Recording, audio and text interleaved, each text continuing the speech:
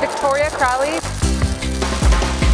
The first time I ever saw welding was here at the 8th grade uh, career festival and I didn't really go to any other booths besides welding. I stayed there the whole hour and asked the teacher a ton of questions because it just seemed interesting.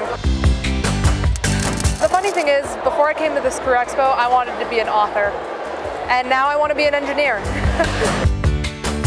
Having access to all the 8th graders in Adams County is an incredible opportunity. They all get to see our programs and the, the, the variety of programs we have. It's kind of cool because we do a lot of background work with them um, as far as exploring their careers and uh, career clusters and then bringing them here kind of puts a face to the cluster and to their potential careers.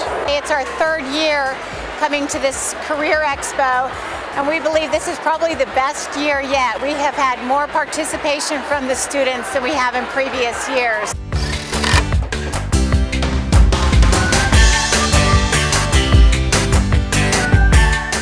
They really live it and they, they kind of look forward to it and then afterwards there's a lot of discussions about after about the things they saw. The students are interested in finding out about how their government works for them so it's been very exciting this year. I think it's an incredible experience for the 8th graders to see.